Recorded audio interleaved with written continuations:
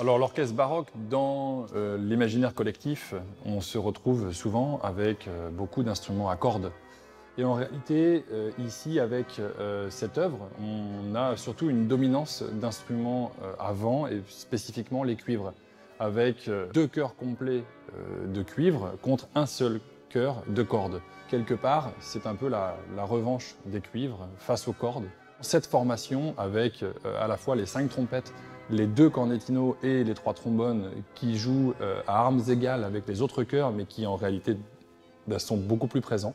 C'est assez unique et c'est spécifique à cette époque et à ce type de répertoire.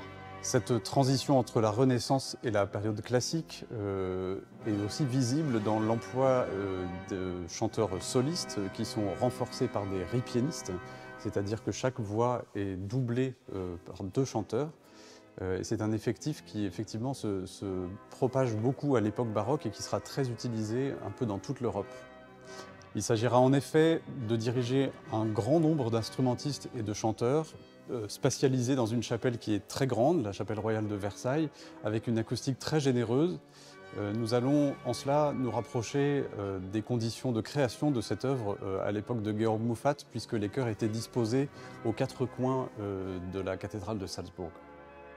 Nous ne sommes pas dans une disposition où les cuivres doivent se comporter uniquement comme des instrumentistes d'orchestre, mais au contraire, trouver la ligne vocale et trouver la ligne instrumentale commune afin que le langage euh, général soit cohérent.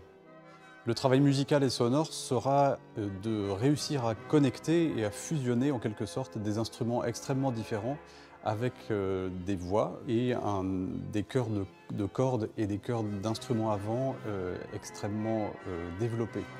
D'un point de vue plus personnel, ce projet sera aussi l'occasion de réunir nos deux propres ensembles pour ce très beau projet consacré à cette messe de Moufat.